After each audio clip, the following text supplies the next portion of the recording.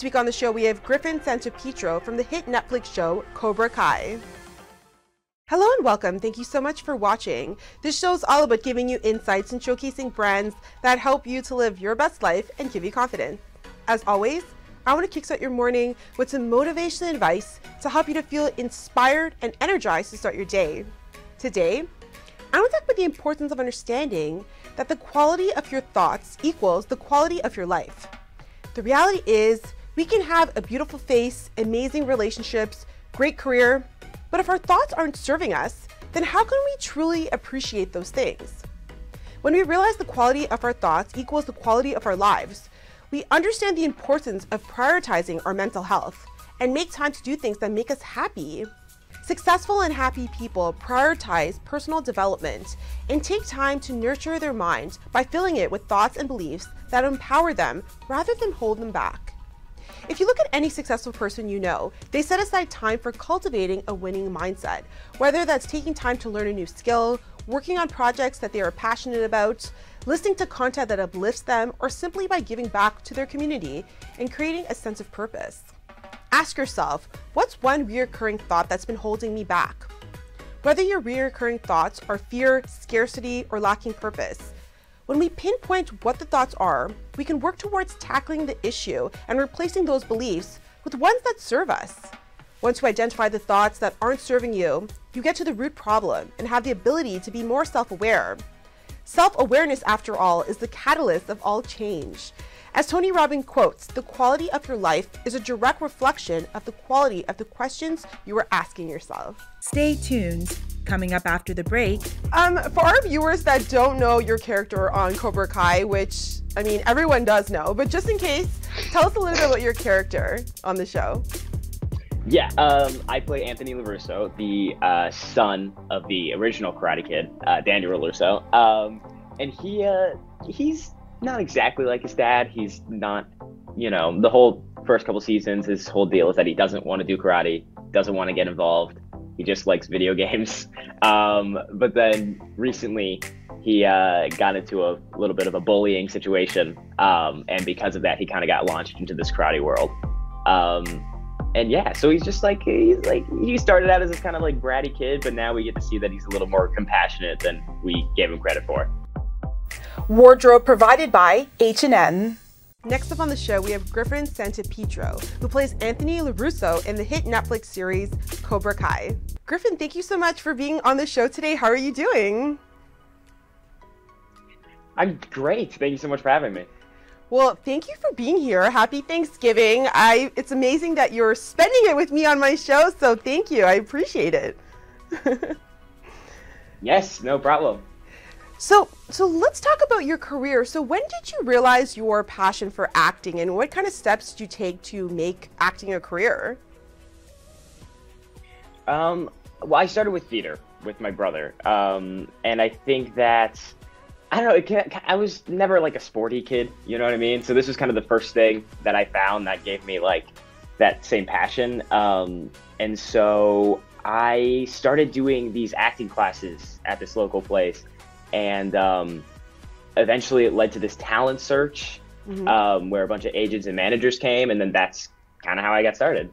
Ooh, very nice. And I feel like theater is very difficult. It's not that easy because my, my uncle is a theater actor. So what was it about theater that you, you know, sparked your interest? And how do you think it kind of developed your skills for the big screen? Um, yeah, I think I mean, they're completely different yeah. kind of mediums. Uh, I think it's a lot of like, you know, the difference between acting for someone two feet in front of you versus like, you know, 60 feet in front of you. Um, so uh, I think it was a good way to start, you know, kind of, especially as a kid who had like a big personality. It was a nice way to like it kind of express myself. But um, I think I found that I liked the subtlety more of film and TV acting. Um, but theater is definitely something I want to continue to to develop. Yeah, I feel like you really have to get into character and be be like you know, let your inhibitions go with with theater, right? You can't be shy. Were you ever shy as a kid? yeah, yeah, I'm, I'm still pretty shy. Yeah, um, I think it was. Uh, it like I said, I mean that was kind of my way of expressing yeah. myself because I was super. You know, I had like a speech impediment too. Like I did oh. not ever talk to people. So I think that was a nice way for me to kind of get better at expressing myself. Yeah, that's a bold way to do that. to step yeah, out of your yeah. comfort zone. um, for our viewers that don't know your character on Cobra Kai, which I mean everyone does know, but just in case, tell us a little bit about your character on the show. Yeah, um, I play Anthony LaRusso, the uh, son of the original Karate Kid, uh, Daniel LaRusso. Um, and he uh, he's not exactly like his dad. He's not, you know, the whole first couple seasons, his whole deal is that he doesn't want to do karate, doesn't want to get involved. He just likes video games. Um, but then recently, he uh, got into a little bit of a bullying situation, um, and because of that, he kind of got launched into this karate world. Um, and yeah, so he's just like he's like he started out as this kind of like bratty kid, but now we get to see that he's a little more compassionate than we gave him credit for. And I heard for your audition, you drove to New York and that you got the audition almost on your first tries. So tell us about that audition. What did you have to do? I remember a little bit. I was like, okay, it was like sixth grade. Then wow, um, one grade. weekend, my mom and I just went into New York to tape it. Um, and it was one scene, I think it was the scene in season one. I think I'm like eating like um, English muffins and I'm complaining about them. and I think that was it. And it was just the one scene. And I had known, I had seen the Karate Kid movie, so I recognized the Cobra Kai name. Um, and then, yeah, it was just that one audition. Yeah, I mean that that's pretty amazing. yeah, yeah, no, I'm pretty lucky. Well, was that a silent on camera audition where you just had to just act it out, or did you have lines to say as well? I did. I had like um. I, I still think I remember. It was like he gives me like uh, English muffins for breakfast, and I say like. I say, I say like, what are we, what are we in Afghanistan? Like I say some like really messed up thing, um, and I and I still think they had it in the first season. Oh, that's hilarious! You know, like you've been on the show for a long time, so how has it been growing with the cast and working with everybody? it's been a pretty amazing experience. I mean, these people really are kind of like, like my family because I've I've literally grown up on the show. Yeah. Um, and so I think I've gotten to learn a lot from everyone, um, especially being one of the younger cast members. Um, and it's just been a really nice kind of constant in my life. Mm-hmm. And how is how have you grown personally, just as a person, being on the show, um, and having this as your big break? Yeah, I mean, I think you know, as like a actor in general, like watching all these really great people is um, super helpful. But then I also think that everyone is so kind of professional, you know what I mean? That I think I learned a lot, um, you know, in the kind of a maturity way, you know, because I, I wasn't just like a, didn't have the opportunity to be like a bratty little kid. Like everyone was so work, hardworking that I kind of got that um, message at a really young age. And I think that I kind of everything I've learned from the show has been really helpful in my um, life outside of it. Uh, and it's been just a really lucky experience. Mm-hmm. And how has your character grown over these seasons? Uh, yeah, I was, I guess, talking about this earlier, is that Anthony is like, the first couple seasons, he is like the worst kid you'll ever meet. Everybody hated him so much. He is just kind of a brat, is the best word, you know? I mean, he grew up rich, he's very entitled. Um, but then around season four, we see that he kind of starts bullying this kid um, because his friends want him to. He's very peer pressured into that situation. Um, and which is something that I think a lot of kids can relate to, you know, caring too much about what your friends think than what is actually right. Um, and then just recently in season five, we got to see that he is a much more compassionate person than we were um, seeing before, and he does kind of feel bad for the way he used to be, and he's trying to make up for it. Yeah, and have you been surprised by the success of the show? Because I feel like it's it's really blown up. It's I mean everybody knows the show. It's international. So have you been surprised at all? I mean, yeah. I, mean, I remember when um, I remember the first like three seasons we were on like a much smaller streaming service, and I had a smaller part, and so none of it it didn't really like you know hit that big yet. Um, and then we went over to Netflix around season three. Yeah, season three, we went over to Netflix. Um, and then it was like crazy. I, I, I mean, I can't even like, it kind of happened. It felt like it happened in a day. Um, but it just went from being like our little show that we did to like the biggest show on Netflix. So I think that um, uh, it was kind of crazy to get get used to that, but um, you know, to see like the fan reactions have been amazing. Yeah, and, and on top of being an actor, you have to balance being a normal teenager. I know that you also go to school. So how has it been? Do people recognize you? like what uh, it? Yeah, it was like I'm sure you're like the popular person in school because you know. I mean, it was it was a little weird to get used to. I yeah. think, um, especially since it happened in like the middle of a school year. Um, yeah. But I mean, what I mean, just you know, everyone already knew I was an actor because I was always leaving for like weeks or months on end and trying to balance my work, which has always been fun. Um, but I think it was it was a you know it was one of those it's like when the show blew up in general like everything kind of changed a little bit but you know once i got used to it it was it was really fun. Yeah i'm sure it was fun. I'm sure everyone you're like the popular person. Does, does anyone ask you for your autograph? Uh, i got it uh, people asked me for a few pictures like walking through the hallway um, but yeah. that was mostly at the beginning of the year i think people are starting to get that I'm not that cool. So, what would be your dream collaboration or role? Oh wow, I think um, well, I'm a huge comic book fan. Mm-hmm. I've been reading comic books since I was a kid, so I think like any superhero thing would be awesome. Um, and I think collaboration wise, I'm a really big um, one well, the, the comedy idea. I'm a really big Dan Harmon fan. Mm-hmm. Um, he made like Community and Rick and Morty, so I think to do anything with him would be really fun. Um, oh. And I'm a, I guess this is back to the superhero thing. I'm a really big Robert Pattinson fan. Oh, um, oh, nice. I think he's a really great actor, and you know, he's also Batman. So mm-hmm. collaborating with him would be awesome. What kind of superhero? A good superhero, or or like an evil villain, I, or both? or both? Yeah, I think I would enjoy playing a villain a lot. Ooh, really?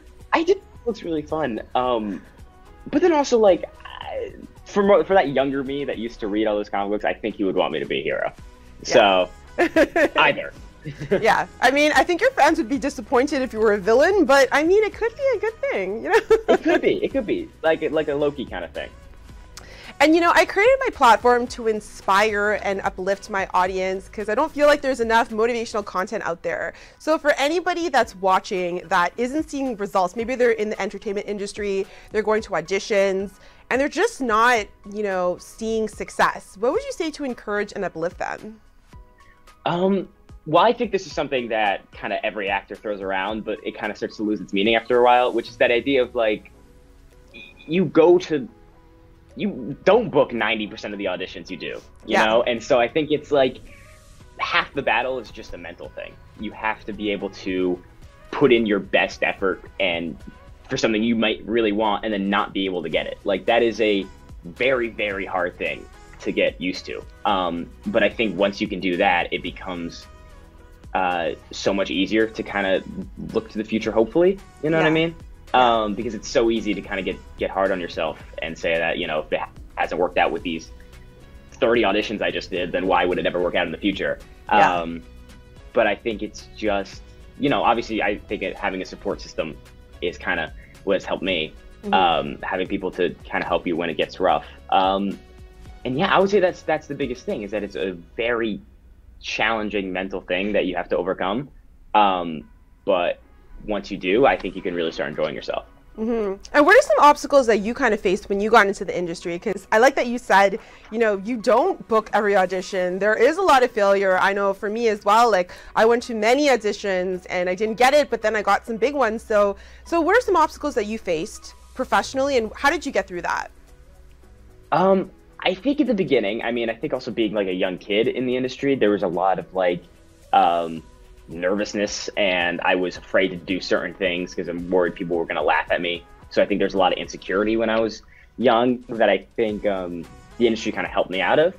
Um, just kind of facing those parts about yourself that you're not a huge fan of, but learning to to like them. Um, and then I think that you know, I think the biggest problem with me is always just like there are those times where you put in like the best audition you've ever put in to the part you wanted more than anything, and then they wanted a kid that's like slightly taller or blonde hair yeah. or like it's like it's like that one thing that it's like it's not i think that's where where it gets hard for me is like when it's not when it's out of my control yeah because then there's nothing i can do about it and i don't like that feeling of you know not being able to do anything about it. But I think again, that's just something you got to mentally be able to overcome.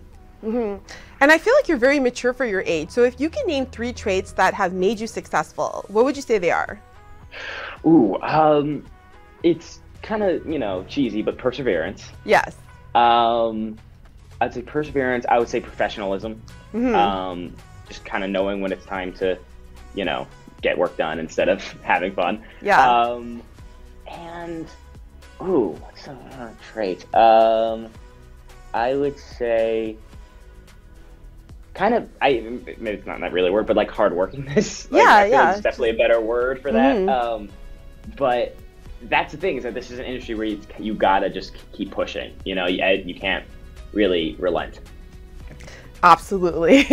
you have to be persistent, right? Otherwise, yeah. it's not happening. You got to just keep. Otherwise, because everyone exactly. wants to be in this industry, right? So if you're right. not persistent, were, yeah. and if it were easy, everyone would do it. So it's like exactly. It's just you got to put it all in. That's what I remind myself every day. If it was easy, everyone would do it. That's why I'm working so hard. exactly. I, I like that. And Griffin, what are you currently working on? Um, currently, I'm working on a lot of school. Um, yeah. But uh, uh, this last summer, I worked on a film called um, A Paracosm, which um, will come out sometime. Um, that I'm really excited for people to see. Um, and yeah, right now, just a lot of it's junior year, so a lot of pretty heavy work. Very nice. And you know, it is Thanksgiving for all of our American viewers. So I want to ask you, what's one thing you're thankful for this Thanksgiving? Ooh, um, I would say I one thing I might be most thankful for is the fan reception to yeah. Anthony this last yeah. year. Um, it was something that I hadn't gotten before because people were kind of hated the character when mm-hmm. he first, you know, when season one when he was annoying. So to see that there were actually people out there that could appreciate his character as much as I do um, was really nice. And Griffin, congratulations on all your success. Come back on the show anytime and happy Thanksgiving. Yes, happy Thanksgiving to you. Oh, late Thanksgiving. Tag TV is available on Roku, Amazon Fire TV, Apple and Android TVs, as well as on Apple and Android phones. Watch us live through YouTube and Facebook.